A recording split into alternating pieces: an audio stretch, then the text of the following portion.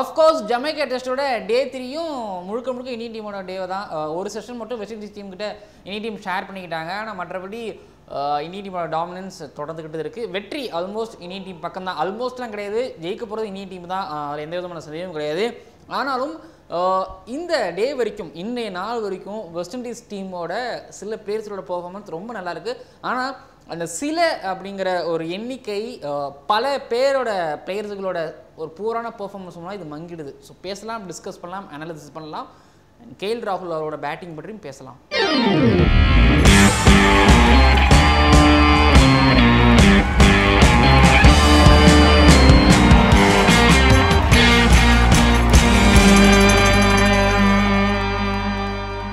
General ladies and gentleman இது கிரிக் Anandha's cricket show இந்த ICC world test championship special Cric Anandha's cricket ஷோவில் West Indies versus India two thousand ninety test சீரீஸோட Jamaica டெஸ்ட்டோட day த்ரீயோட analysis and review இது and நம்ம நேத்திக்கு கடைசியாக டே த்ரீல ஓகே இதெல்லாம் வாய்ப்புகள் இருக்குன்னு நம்ம ப்ரிவியூவில் மாதிரி பேசியிருந்த விஷயங்களில் இன்றைக்குள்ள மேட்ச் மேபி முடியறதுக்கான வாய்ப்புகள் இருக்குது இந்தியன் டீம் எனக்கு தெரிஞ்சு சீக்கிரமாக சுருட்டிடுவாங்க அப்படிங்கிற மாதிரி தான் எதிர்பார்த்தோம். ஆனால் விராட் கோலி அவர்கள் எதிர்பார்க்காத விதமாக ஃபாலோ ஒன் கொடுக்காம மறுபடியும் பேட் பண்ண ஆரம்பித்தாங்க ஸோ இங்கே கொஞ்சம் சர்ப்ரைஸாக இருந்தது. அண்ட் அதே நேரத்தில் அவரை பொறுத்த வரைக்கும் ஓகே ஏறக்குறைய டே த்ரீல ஃபஸ்ட் செஷன் தான் நடந்துகிட்டு இருக்கு. ஸோ கொஞ்சம் நம்ம பேட் பண்ணுவோம். பேட் பண்ணி பெரிய டார்கெட் கொடுப்போம் அப்படிங்கிற பிளானில் தான் போனாங்க.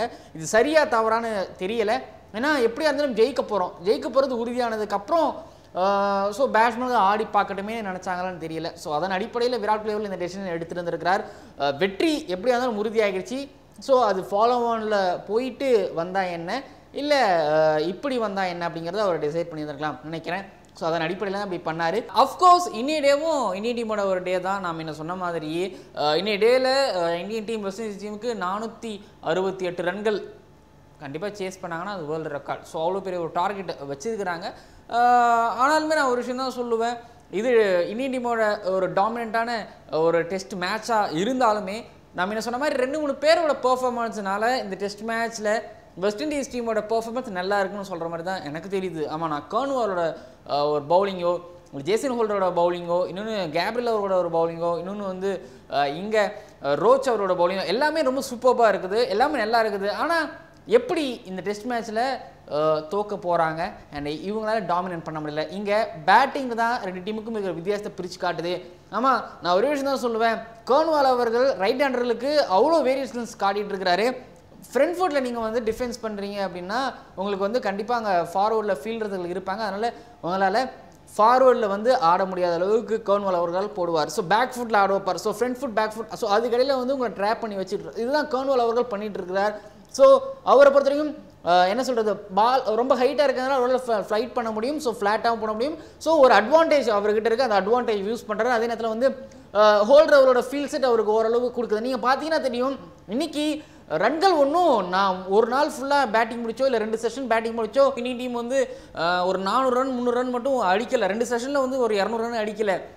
இந்திய டீமால் ரொம்ப கம்மியான ஸ்கோர் தான் அடிக்க முடியுது. ஸோ நூற்றி ஐம்பது கிட்டத்தட்ட தான் அடிக்க முடியுது. அதுவும் அந்த ரெண்டு செஷனுக்குள்ளே இங்கே ஒரு விஷயம் கிளியராக நம்மளுக்கு தெரியுது. இந்த நூற்றி ஐம்பது ரனுக்குள்ளே சுருட்டுறாங்க அப்படின்னா பவுலிங் அந்தளவுக்கு குவாலிட்டியாக இருக்குது அப்படிங்கிறது கிளியராகவே தெரியுது. அண்டு சில இடங்களில் நம்ம என்ன சொன்ன மாதிரி கேப்டனோட அப்ரோச் இங்கே டிஃப்ரெண்ட்டாக இருக்குது ஸோ அதனால் வந்து டே டூவில் ரன்கள் அதிகமாக போயிட்டு இருந்தது தான் இன்றைக்கும் அது நடந்தது. கடைசி நேரத்தில் கொஞ்சம் ஃபீல்டிங்கை தளர்த்தினார் ஜேசன் ஹோல்டர் அவர்கள். ஏன்னா ஸ்பின்னுக்கு வந்து ரெண்டு ஸ்லிப்போ இல்லை ஒரு ஸ்லிப்போ இல்லை ஒரு ஃபார்வர்ட் ஷாட்டுக்கு வச்சு பவுலிங் பண்ணிட்டு இருந்தவர். திடீர்னு இங்கே ரோஸ்டன் சேஸ் உள்ளே வந்ததும் சரி. அதுக்கப்புறம் கோன்வால் அவர்களுக்கு லாஸ்ட் செஷன் பக்கத்தில் ஓவர் போட்டுட்டு இருக்கும்பொழுது அந்த ஃபார்வர்ட் ஷாட்லக்கெலாம் எடுத்துகிட்டு ஸ்லிப்லாம் எடுத்து வச்சுட்டு இங்கே வந்து டீப் ஸ்கொயர் லெக்லேயும் ஷார்ட் ஸ்கொயர் லெக்லேயும் வந்து ஃபீல்டர்ஸ் அப்படி தான் விரு கொஞ்சம் தளர்த்தினார். அதனால தான் ரன் போச்சு மற்றபடி இன்னைக்கு அவங்களோட பவுலிங் எந்த விதமான குறையும் கிடையாது. ரோஸ்டன் சேஸ் அவர்கள் எடுத்த அந்த மூன்று விக்கெட்டுகளும் பார்த்தீங்கன்னா பிரமாதமான ஒரு விக்கெட் முதல்ல மயங்க் அகர்வாலுக்கு அந்த குட் லெக்கத்தில் தான் பிச் பண்ணி கொஞ்சம் கட் பண்ணிட்டு இருந்தாரு. இருந்தாரு. லேட் கட் பண்ணிட்டு இருந்தாரு. லெக் கட்டர் போட்டுட்டு இருந்தாரு. ஸோ ரெண்டு பால் மயங்க் அகர்வால் அவர்கள் அங்கே போயிட்டு செக் பண்ணிட்டு இருந்தாரு ஒவ்வொரு பாலுக்கு அப்பவும். ஸோ அங்கே ஒன்ஸ் அகைன் திடீர்னு ஒரு பால் இன்ஸ்விங் ஆகிடுச்சு அந்த பாலில் எல்பிடபிள்யூ ஸோ குயிக்காக அது பண்ணார். அடுத்து கேஎல் ராகுல் அவர்களுக்கு ஃபோர்த் ஸ்டெம்பில் செட் பண்ணிக்கிட்டே வந்துட்டு இருந்தாங்க. கேப்ரியல் அவர்களும் ரோச் அவர்களும். அடுத்தது அவருக்கு வழக்கமாக இந்த பாடி லைனில் கொஞ்சம் ஒரு ஆன் த லைனில் பிச் பண்ணி உள்ளே கொண்டு வந்தோம் அப்படின்னா ஒரு விக்கெட் இழப்பார். அதுதான் நடந்தது. அடுத்து Virat Kohli golden duck hattrick miss ஆகிடுச்சுங்க அது பெரிய ஒரு அன்லக்கி ஹேட்ரிக் கண்டிப்பாக கிடச்சிருக்கும் செஸ்ட் மிஸ்ஸு இன்சைட் எஜ் ஆகிடுச்சு அஜின்கே ரஹானேக்கு ஸோ இப்படின்னு சொல்லிட்டு ரோச் அவர்களோட பவுலிங் வேர்ல்டு கிளாஸில் இருக்குது எப்படி இந்த பேட் கமின்ஸ் ரபடா அதுக்கப்புறம் வந்து பும்ரான்னு சேர்க்குறோமோ அதில் வந்து ரோச் அவர்களோட நேமும் சேர்க்கணும். அந்தளவுக்கு பவுலிங் பண்ணிட்டு இருக்கிறாரு நான் கேப்ரியல் அவரோட அவரோட ஒத்துழைப்பு ஆகணும். ஹோல்டர் அவர்கள் ஹோல்டர் அவர்கள் வந்து எனக்கு தெரிஞ்ச அன்லைக்கி தான். ஏன்னா ஃபர்ஸ்ட் இன்னிங்ஸில் ஒரு ஐந்து விக்கெட்டுகள் எடுத்தார். ஆனால் ஃபர்ஸ்ட் செஸ்ட்டில் வந்து அவர் ஒரு அன்லைக்கி ரொம்ப நல்லா போட்டுட்டு இருக்கிறாரு ரொம்ப நல்லா போடுவார். ஆனாலுமே அவருக்கு விக்கெட் விழ மாட்டுது அப்படின்னா பேட்ஸ்மேனுக்கு ரொம்ப கண்ட்ரோல்டாக ஆடிட்டு இருக்காங்க ஸோ டிசிப்ளின் அந்த டிசிப்ளின் தான் எனக்கு தெரிஞ்சு இங்கே இந்தியன் டீமோட பேட்டிங்லையும் வெஸ்ட் இண்டீஸ் டீமோட பேட்டிங்லையும் இருக்கிற மிகப்பெரிய வித்தியாசம். நான் என்ன சொல்லியிருப்பேன் பேட்டிங் மிகப்பெரிய ஒரு வித்தியாசம் ஏற்படுதுன்னு சொல்லிட்டு. இங்கே ஹோல்டரும் சரி பும்ரா அவர்களும் சரி கேப்ரியல் அவர்களும் சரி ஷமி அவர்களும் சரி இந்த பக்கம் ரோஹித் அவர்களும் சரி இஷாந்த் சர்மா அவர்களும் சரி. ஸோ எல்லா ஃபாஸ்ட் பவுலரும் பார்த்தீங்கன்னா ரெண்டு டீமோட ஃபாஸ்ட் பவுலர்ஸும் ஃபோர்த் ஸ்டெம்பில் மேக்ஸிமம் பேட்ஸ்மேன் செட் பண்ணிக்கிட்டு இருக்கிறாங்க. ஆனால் இந்தியன் டீமோட பேட்ஸ்மேனுக்கு வெல் லெஃப்ட் பண்ணுவாங்க. ஆனால் வெஸ்ட் இண்டீஸ் டீமோட பேட்ஸ்மேனுக்கு வெல் லெஃப்ட் பண்ண மாட்டாங்க. அந்த டிசிப்ளின் தான் எங்கள் பிரச்சனையே. பிராத்வைத் அவர்கள் நீங்கள் அவுட் ஆகும்போது ஒன்று பாருங்கள் அடுத்தது கேம்பல் அவர்கள் அவுட் ஆகும்போது நீங்கள் ஒன்று பாருங்கள் அடுத்து எட்ஜ் எடுத்த பாலும் பார்த்தீங்கன்னா நீங்கள் கவனிச்சினா உங்களுக்கு கிளியராக தெரியும். எல்லாமே இந்த அவுட் சைட் ஆஃப் பால்கள் இந்த ஃபோர்த் சிஸ்டம் பால்கள் தான். டிசிப்ளின் தேவை. கொஞ்சம் இல்லை நிறையவே தேவை. இன்னும் டெஸ்ட் பேட்ஸ்மேன்லாம் இன்னும் நிறைய குரூம் ஆகணும். கேம்பல் அவர்களும் ஆகட்டும் மற்ற வெஸ்ட் இண்டீஸ் டீமோட யங்ஸ்டர்ஸ்கள் ஸோ இங்கே வந்து நான் முன்ன சொன்ன மாதிரி தான் ஒன்ஸ் அகைன் நான் சொல்கிறேன் பவுலிங் எந்த பிரச்சனையும் கிடையாது ரெண்டு டீமை பொறுத்த வரைக்கும். பேட்டிங்கில் இந்திய டீம் ரொம்ப அட்வான்டேஜாக இருக்கிறாங்க. வெஸ்ட் இண்டீஸ் டீம் ரொம்ப பின்தங்கி இருக்கிறாங்க. எல்லா விதத்துலையும் பின்தங்கி இருக்காங்க அப்படிங்கிறனால தான் இந்த இந்த இந்த மேட்ச்சில் வந்து எனக்கு தெரிஞ்சு இந்த சீரீஸ்லேயே வெஸ்ட் இண்டீஸ் டீமால் எதுவுமே பண்ண முடியல. அடுத்து நான் இங்கே கேஎல் ராகுல் அவரோட பேட்டிங் பற்றி நான் பேசி ஆகணும். அவர் கடைசி டெஸ்ட்டா இல்லைன்னா அப்படிலாம் எனக்கு தெரியாது. மேபி அடுத்த சீரீஸில் கண்டிப்பாக அவர் இருப்பார். ஏன்னா நான் அது காரணம் வந்து ஆல்ரெடி நான் ஒரு வீடியோவில் சொல்லியிருக்கிறேன். அந்த வீடியோ நீங்கள் போய் செக் பண்ணி பாருங்கள் அது வந்து கடைசி எண்டு கால்லையும் போடுறேன். பாருங்கள் அண்டு கேஎல் ராகுல் அவரை பொறுத்த வரைக்கும் இன்றைக்கி டெஸ்ட் இன்னிங்ஸ் தான் ஆனாரான்னு கேட்டிங்கன்னா கண்டிப்பாக நான் கிடையாது சொல்லுவேன். ஏன்னா ஒரு டெஸ்ட் இன்னிங்ஸ் அப்படிங்கிறது நான் டிராவிட் விவிஎஸ் லக்ஷ்மணன் அவர்கள் சச்சின் டெண்டுல்கர் இந்த மாதிரி கிரேட் பிளேயர்ஸ்கிட்ட நான் போகவே மாட்டேன். இந்த கிரேட் பிளேயர்கள்ட்ட நான் போக மாட்டேன். இப்போது கம்பீர் அவர்கள் உயரத்தில் கிரேட் பிளேயர் தான் டெஸ்ட்டில் ஆனால் ஒரு படி இந்த ராகுல் டிராவிட் அவர்கள் லக்ஷ்மண் அவர்களுக்கு சச்சின் லோலா அவர்களுக்கு அடுத்த படியில் இருக்கிற கௌதம் கம்பீர் அவர்களெல்லாம் பார்த்தீங்கன்னா ஒரு விஷயம் பண்ணுவாங்க. ஏற்கனவே எல்லாருமே ஒரு விஷயம் தான் பண்ணுவாங்க. என்னென்னா தங்க செட்டில் ஆகிறதுக்கு ஒரு ஒரு விதமான கொஞ்சம் பால்களை எடுத்துப்பாங்க. எடுத்துக்கிட்டு அதில் வர லூஸ்னஸை அட்லீஸ்ட் டிரைவ் பண்ணுவாங்க இல்லை ஃபிக் ஏதாச்சும் ஒன்று பண்ணி ரன்களை ரொட்டேட் பண்ணுவாங்க. ஆனால் கேஎல் ராகுல் அவர்கள் நீங்கள் மிஸ் பண்ணுறது இந்த இன்னிங்ஸில் நான் பார்க்குறது என்னென்னா கிட்டத்தட்ட அறுபத்தி மூன்று பந்துகள் எடுத்துக்கிட்டு ஆறு ஆறு ரன்கள் மட்டும் தான் அடித்தார் அவருக்கு நிறைய அவுட் சைட் ஆஃப் பால்கள்லாம் வந்துச்சு. ஸோ அந்த சில பால்கள் தொட்டா கெட்டாரு அவுட்டு தான். ஆனால் சில பால்கள் அடிக்கலாம். ஃபுட் ஒர்க் நல்லா கொடுத்து அடிக்கலாம். எல்லாமே குயிக் டெலிவரிஸ் வரல. சில பால்கள் கட்டர்கள் வந்தது ஆனால் அடிக்கலாம். கேஎல் ராகுல் அவர்கள் அங்கே தான் மிஸ் பண்ணிட்டாரு. செட்டில் ஆக டைம் எடுத்துக்கிட்டு தன்னோட கேமில் கான்சன்ட்ரேட் பண்ணிட்டு கேமை விட்டவர் தான் எங்கள் கேஎல் ராகுல் அவர்கள்.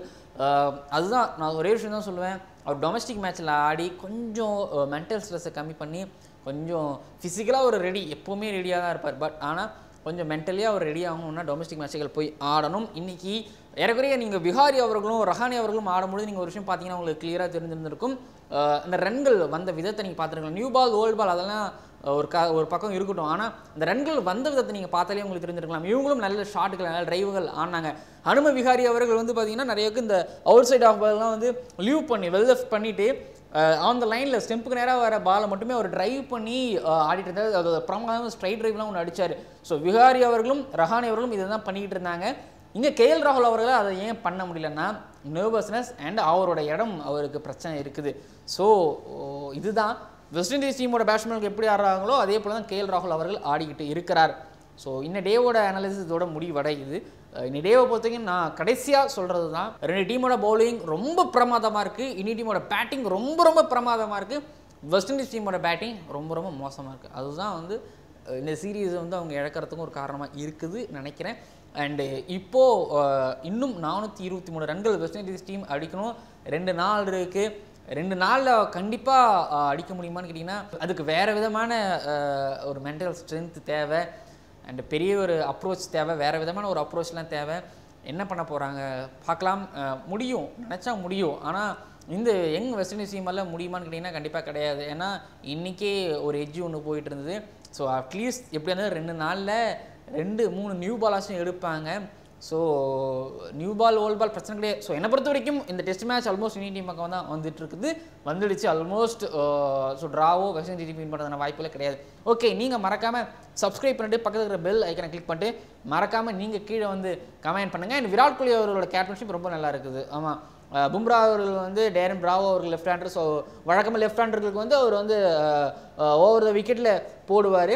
ஸோ அதன் அடிப்படையில் க பும்ரா அவர்கள் வந்து கடைசியாக ஓவர் த விக்கெட்டில் போடும் பொழுது லெஃப்ட் ஹேண்டர்களுக்கு அவருக்கு வந்து ஒரு ஃபார்வர்ட் ஷாட்டில் முடிஞ்ச பக்கத்தில் ஒரு ஃபார்வர்ட் ஷாட்டில் ஷாட்டில் நிப்பாட்டினார். இன்னொரு பக்கம் பும்ரா அவர்களுக்கு இன்றைக்கி தேவையில்லை. ஸோ நாளைக்கு பவுலிங் பண்ணலாம்னு சொல்லிட்டு அவரோட ஒர்க் லோடு கம்மி பண்ணுறதுக்காகவும் அண்ட் ஆல்ரெடி அவருக்கு தசை பிடிப்பு இருந்தாலும் ஸோ பும்ரா அவர்களை ப்ராப்பராக யூஸ் பண்ணிட்டு இருக்காரு. ஸோ ரெண்டு டீமோட கேப்டனோட அப்ரோச் நல்லாருக்கு ஆனால் சில இடங்களில் ஹோல்டர் அவர்கள் தவற விடுறாரு. சில ஒ- இடங்களுங்கிறத விட சில பல ஓவர்கள் தவற விடுறாரு. ஆனால் கோலி அவர்கள் கண்ட்ரோல்டாக இருக்கிறாரு. ஸோ அதுதான் அங்கே வெற்றி தோல்வி ரொம்ப அதிகமாக தீர்மானிக்குது.